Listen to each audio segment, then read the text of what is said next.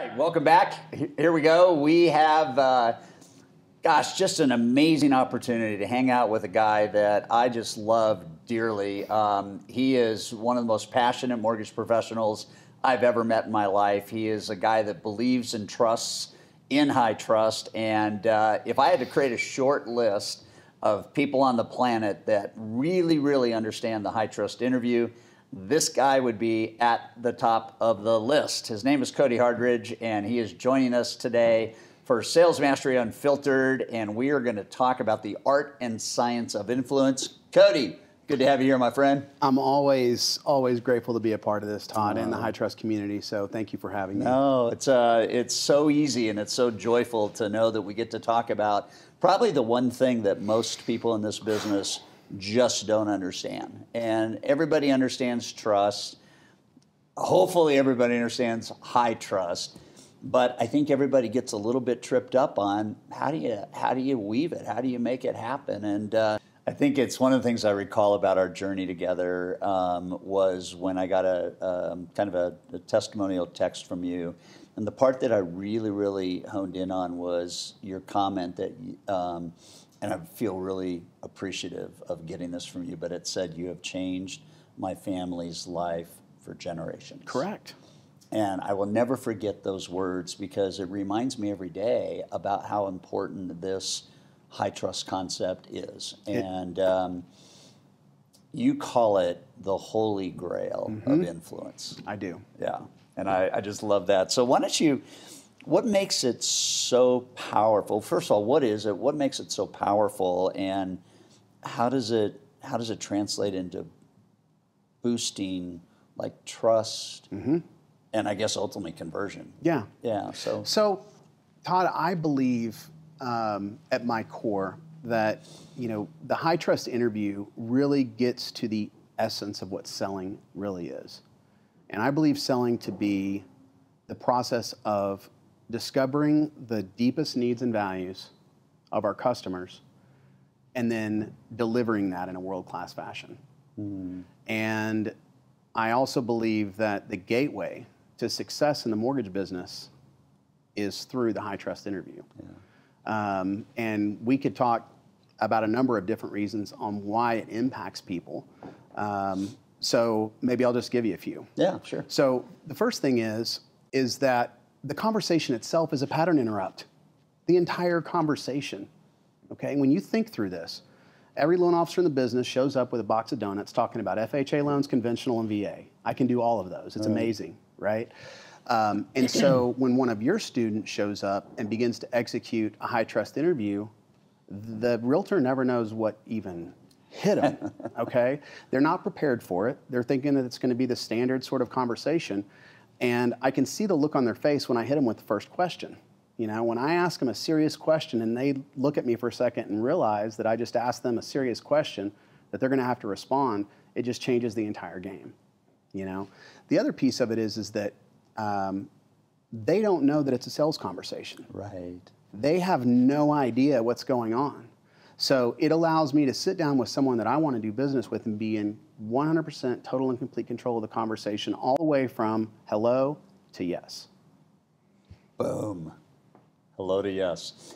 So I think it's important to understand that um, that that that as the viewer today and, and anybody that listens, we're not doing something to someone. It's not a it's not a it's not some sales technique. No. What it is is a deeply held desire, and this is, I think, where people need to get to. It's like, it's like if I really, really wanted to get to know you, mm-hmm. then I need to ask questions that allow me to get to know you. And the deeper the questions are, the deeper I get to know you. Yes. And I think that's what, for me anyway, interesting off right out of the cuffs is that's the first part of the change is if I don't know you and you don't know me in a deep enough way, we don't have any assuredness that this is going to work. No. We don't we don't know anything. It's like you can't I guess you could go out on one date and say you're pretty, I love you, can we get married? But we don't know that even that's going to work, right? You're, so, yeah, you're bringing up a really good point here, Todd. Okay, um, are we compatible? Part of my high trust interview, I quote a good friend of mine. He is a New York Times bestselling author named Todd Duncan. and he told me once that if there is no essence between people in business, then no amount of money is going to bring them together. Yeah. Yeah. But if there's essence, then no amount of money is going to keep them apart. Yep. Right? I quote that on every high trust interview that I do, be- and I use it in my transition um, because I want them to understand that this is not about me interviewing for a job for them. Okay? It's about for us to discover if we have essence between each other. Are we a good fit for each other? Not just me for you, but you for me. So essence is the same as chemistry. Correct. There's an attraction there. We believe in the same things. Like-minded thinking. Yeah, and so so tell, kind of I guess I think right now everybody's maybe trying to get back to you know we, we had this great run and you know for the right practitioners are having an even better year this Mm-hmm. Correct. year. Um, but a lot of people are, are watching the business dip, and, Mm-hmm. and I've learned two things. I've learned one that that a lot of people don't. A lot of people are getting business from people they think they have relationship with or they think they have partnership with, and they really don't. When they when they start to hear what you and I are about to unplug, un, unplug they really don't. They really don't have what we're talking about here, and and so to to to look at you know ten or fifteen or twenty business resources, you know. I, I need to do something to, to re-engage and to and to deepen, and then for the rest that maybe don't have that population, it's like I've got to I've got to start adding some people, and I want to be selective about it. But at the very essence of the high trust interview, it in my mind it has to become a way of life mm-hmm. versus some like skill set. Correct. So talk about just just quote. I think I think what brings it alive is when you said people aren't ready for it and they don't know it's happening. It's because of the questions that are asked. So I need you to go off on like the importance of unique and deep Yeah. and real questions. Yeah. So anytime that I sit down with a potential referral partner, I have a goal to discover their deep inner fire of what is driving them. Deep inner fire of what drives them. Correct. And then I'm going to warm my hands on that fire once I've discovered it, right? But the only way to discover that is to ask important questions that matter about things that matter to them, okay? Um, one of the questions has to do with their goals for their business, okay? And this is simple. If someone has no goals, they're probably not a good fit for me, okay? I'm just going to let you know that. If they don't want to become a better version of themselves, um, then we're not going to align in our thinking. Um, so I'll ask about their goals, and then I'll ask permission to ask a, a very important and personal question. So what, let's just do this right now. Yeah, you want to role play? Yeah, it? yeah. Let's do it. So, Todd, you've got a, a fantastic business. You've got a fantastic reputation. You know, uh, we're coming out of 2020, a record year for a lot of us. Um, what are your goals for yourself and for your team moving forward? Yeah.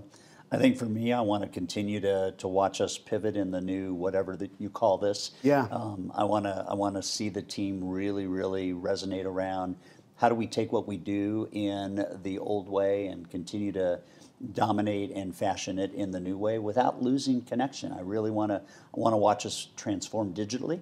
I want to I want to watch us impact more people because we can digitally. And um, and I think for the team, they wake up every day and they get jacked up and excited that this whole thing we've gone through is allowing us now to reach more people more quickly and um, and make more impact Yeah. uh, more permanently. It's powerful. So, I've heard you say a couple of words in the last few minutes that are really important to me. Do you mind if I ask you a kind of a deep personal question? I know we don't know each other very well. Yeah, no, go. Do you mind? Nope. What What is it that's important about being successful to you? Um, I I love I love setting goals and achieving them. Okay. That to me is where success starts. I, I don't I don't wait for success to happen. I, I kind of go after it. So I, I like setting goals and making them happen. But what's behind that? Like, what do you get from that? I guess I get a couple things. I, I, I get um, a, a pretty deep sense of fulfillment. Okay. So when, when, goals are set and goals are achieved, um, I feel fulfilled. I feel accomplished. Um, I feel blessed. I think that when goals are accomplished, it also gives the whole team a, a new bar, uh, kind of a new foundation to where do we go from here. Um, at the end of the day, that's probably probably some of the things fulfillment and feeling accomplished and blessed. And why is that important? That feeling of accomplishment. Why do you want to feel fulfilled? I guess I guess it brings me um, it, it- making a difference brings me a deep sense of gratitude. That Wow. that is to me when making a difference. Making a difference happens with all those things, and when that happens, I have a deep, deep sense of gratitude. Wow. Yeah. I'm getting some cold chills. Sorry. so let me just share a little bit about about me on this. Um, you know, when I kind of first started this journey, you know, I thought it was about those things. I thought it was about you know closing more loans, making more money, having more lifestyle, all of those things. And the deeper I go into this thing, and the more I research and discover and, and talk to other people who have been there, I realize that what's really behind all of that is significance. Having significance in the lives of people who matter the most to me, having a positive impact on their lives. And so um, I just I get cold chills to hear you talking about those things. I appreciate you sharing those things with Yeah. me.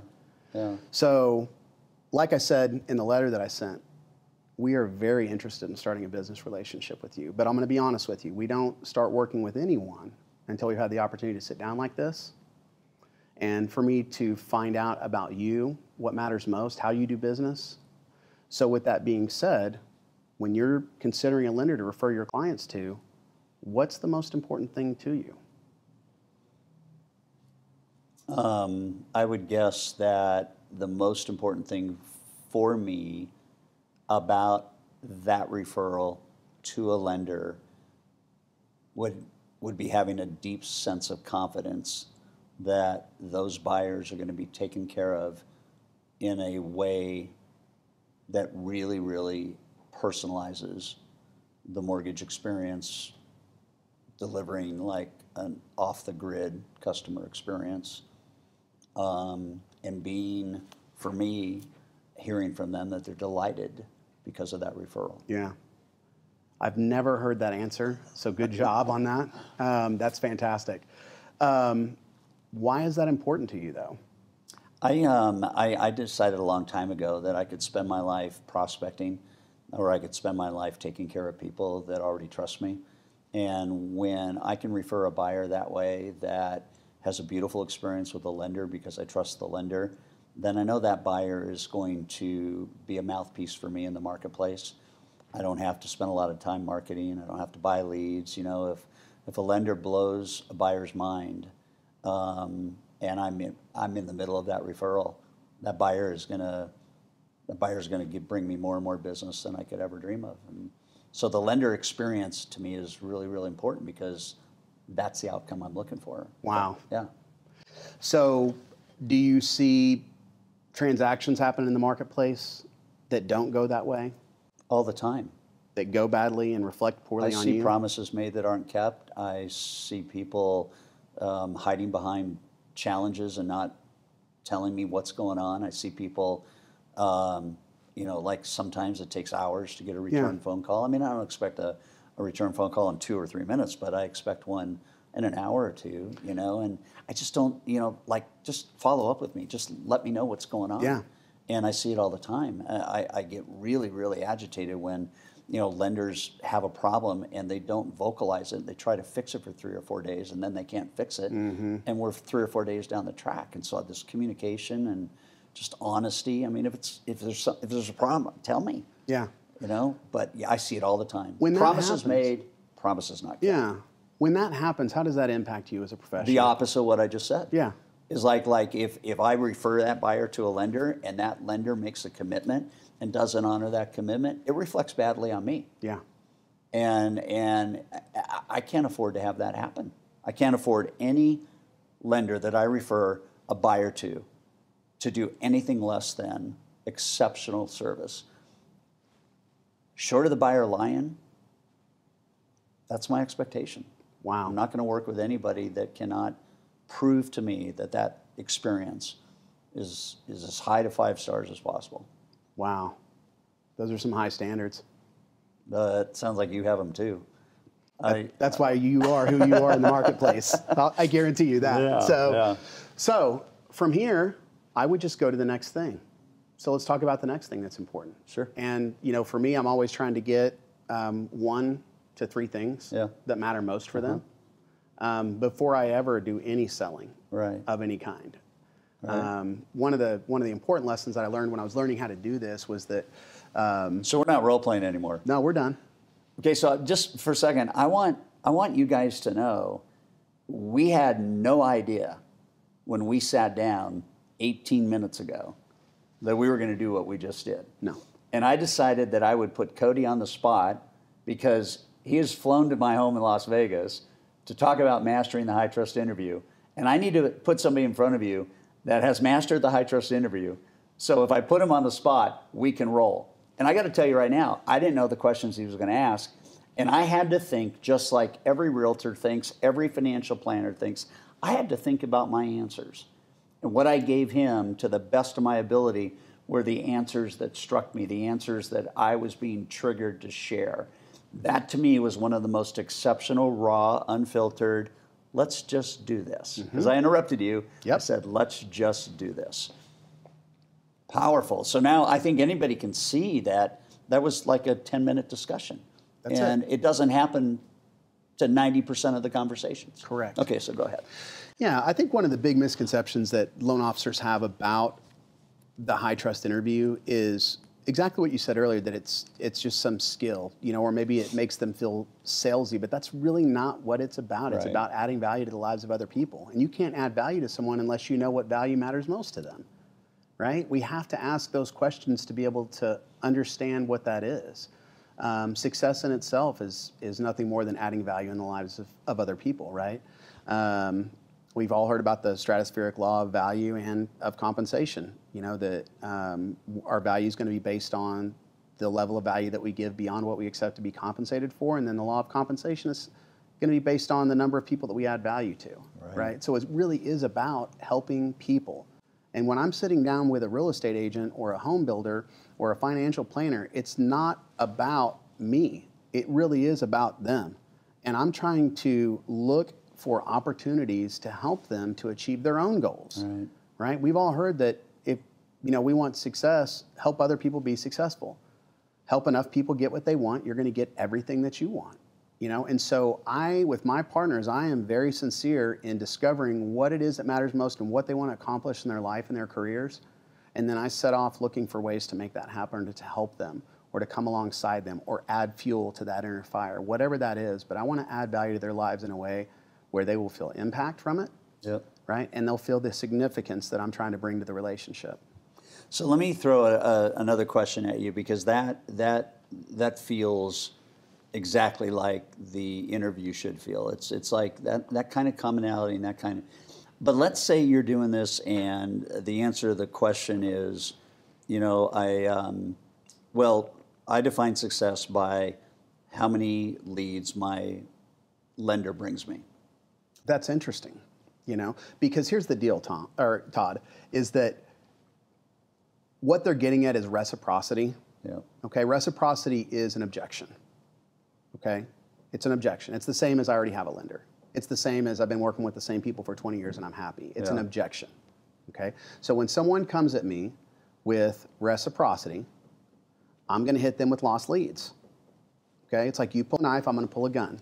Does that make sense? Yeah. All right. So hit So- lost leads because this is huge. Yeah, it really is, and and we can go through this. I, I actually need a calculator to do it, but we can rough it.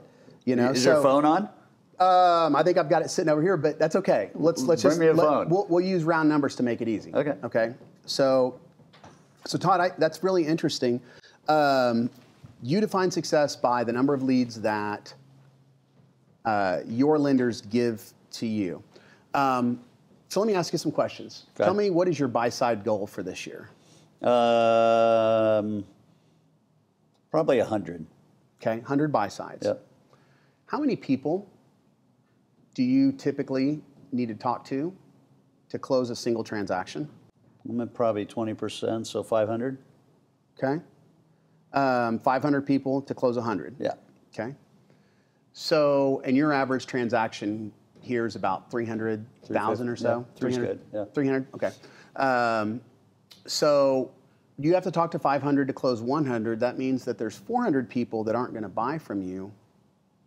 Do you think that any of those people end up buying from another realtor and another lender? Uh, I'm sure that probably happens. Okay.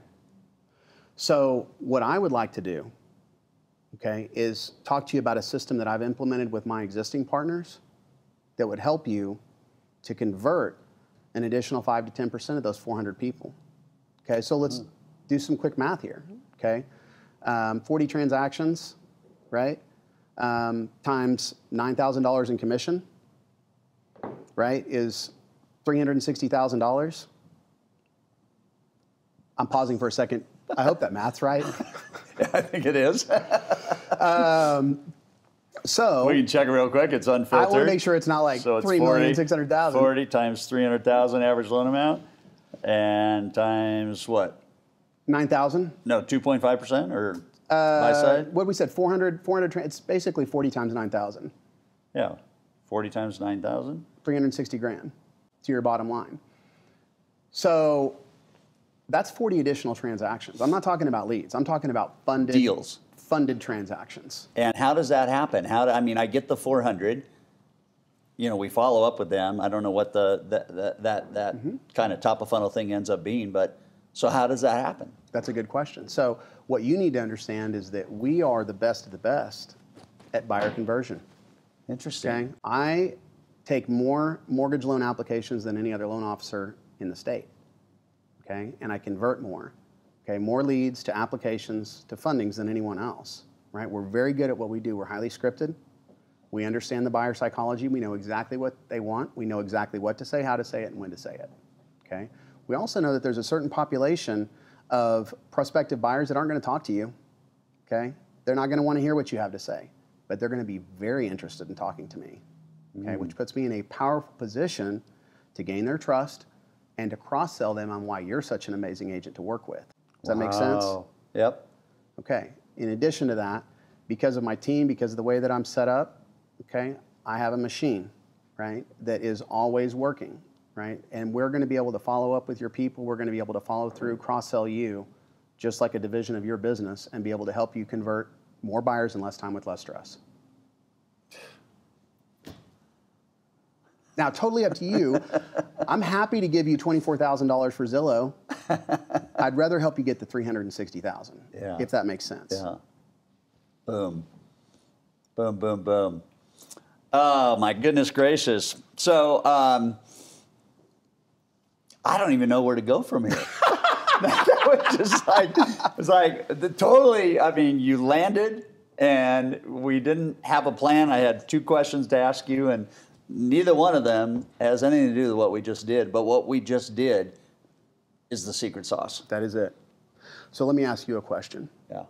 and this is important, Todd. If I can exceed your expectations on these things that we've talked about today, do you see any reason that you and I couldn't start a business relationship together? No. Outstanding. I'm excited. I'm looking forward to working with you. What's next? What's next is I want to set up a time so that you and I can sit down and talk about how you want to be referred and how best to refer me, Okay. right? To increase conversion, right? I want to sit down and talk about how we can marry our scripting, okay, so that we can get more conversions together.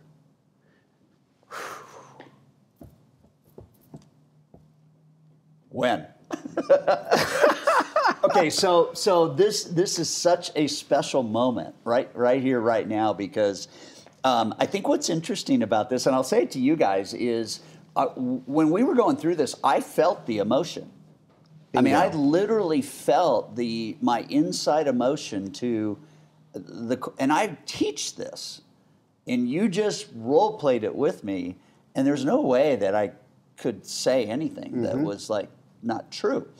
So I know that you, and one of the greatest joys of my life, Cody, is when I watch guys and gals own it at the level of mastery. and then teach it to others. What are the two or three hurdles in your experience as you start to coach other LOs Mm-hmm. in your company and whatnot? What are the what are the hurdles that maybe somebody watching us today could hear from you and, and maybe how to get through that? What are the where do people stub their toe? Where do people kind of what what are the things that come to mind? And just speak to the camera. Yeah, absolutely. So, a couple of things on this. The first thing is is make a commitment to mastery. Okay, um, we don't want to treat this just as a skill, but it is a skill that can be acquired and developed and improved on. And if you can learn this conversation, then you're going to have a strategic competitive advantage over the other loan officers in the marketplace. Okay, you're going to have a strategic competitive advantage um, over the person that's sitting across from you. To be honest with you, right? They're going to be totally unarmed, and you're going to be armed in this deal. Um, I remember when I learned this, I practiced it over and over and over again. And I've used the analogy of um, Academy Award winning actors before, and the amount of time that they spend practicing for that award winning scene, right.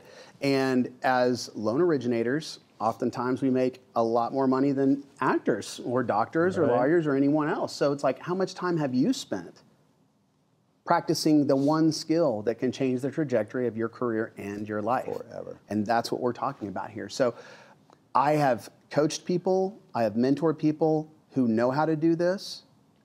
However, there are elements of it that are missing, okay?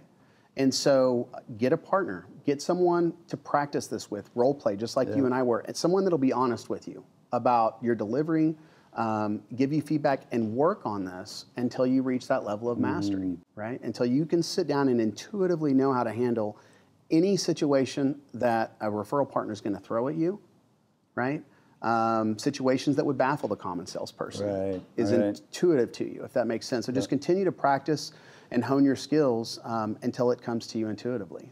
Well, and, and not only intuitively, but then it, it and, and maybe it's the same word, but it becomes natural. And what you just did was natural. Correct. and I think I, you know, everybody has to get to the point where they, you know, that truth that we talk about in the academy that, you know, that y- if you don't practice more than you play, when you play, you will look like you haven't practiced. Correct. And you were game ready for that because we did not know we were going to go there. It Correct. was totally spontaneous.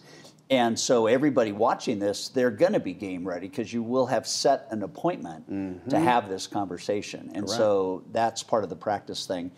Um, I have one more question as we wrap it up, and um, and I'm thinking that I'm thinking like you have different social styles, right? You have drivers and you have expressives and amiables and you know fast thinkers and slow thinkers and you could if you really master this, you could do it in 10 minutes, 15 minutes and yet if you go deeper on some of the answers it could go out. What's the range would you say? Because it's probably different all the time. This is a great question. But I remember something you said. Yes. You said this, I think, three years ago in Elite. You said, I really want, you know, I get paid to influence. Those were your words. I get paid to influence. Um, I get paid to add enough value to influence people to yes. And I think you said, I'd like to be able to do that in 15 minutes. If you ask the right questions, it may not take longer than that, right? I agree. If you ask the right questions, it won't. However, what can happen is, is if you are sitting across from a perfect match, Yeah. Oh, yeah.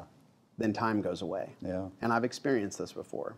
Okay, my uh, number one partner is a gentleman that I met eight or nine years ago. Um, he was, you know, uh, just an individual agent, scratching, trying to make his his business work.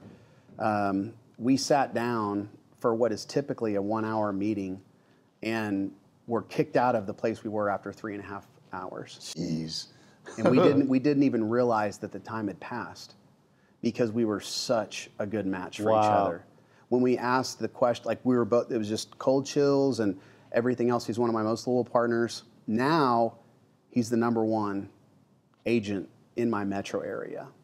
And has one of the most powerful teams there, and one of the most influential teams, and so we've been able to actually grow together. So, um, can I do it in 15 minutes? That's great, but I would almost rather um, sit down with someone that's a model match and get into a flow state with them, you know. And We go tell everybody 30 to 45 minutes, Yeah. you know, and you can really add a lot of meat to the bones when you're connecting and asking Yeah. great questions. And I didn't ask the question because I want to tell everybody do it fast. Right. But I want to ask the question because I think at the end of the day, this is a new this is a new skill for most people to to add meat to the bones, to really understand what people need and to go deep and deep and deep and deep and to feel that, to feel the goosebumps, feel the connection Mm-hmm. because then you know you know something magical is happening That is exactly and right. that's and that's why those relationships then end up lasting so long and why loyalty is so high Right. Yeah. And then the the the next piece of that, you know, is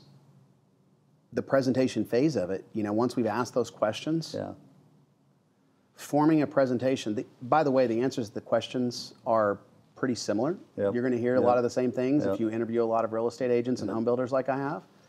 Um, and so you can be prepared, right? Right. And and um, prepare solutions, not just solutions, but compelling solutions to their deepest needs and values. yep And when you can do that and at the same time answer what you do, how you do it, and why you do it, when you get through the why you do it, that's when you're going to start hitting the cold chills with them. That's when you're going to start getting the emotional connection. That's when they're going to feel inspired. That's when the influence happens. yeah Is whenever you are able to solve for those things that matter most for them.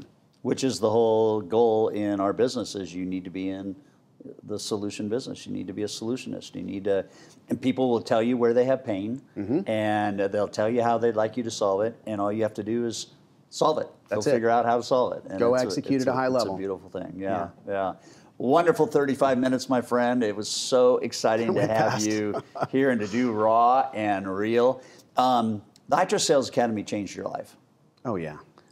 Tell everybody in 60 seconds why they ought to consider the December program that we're doing in Dallas, Texas. Oh, absolutely. Number one, I'm going to be there. That's the first thing. Okay, you're close enough to my hometown that I can actually drive this time.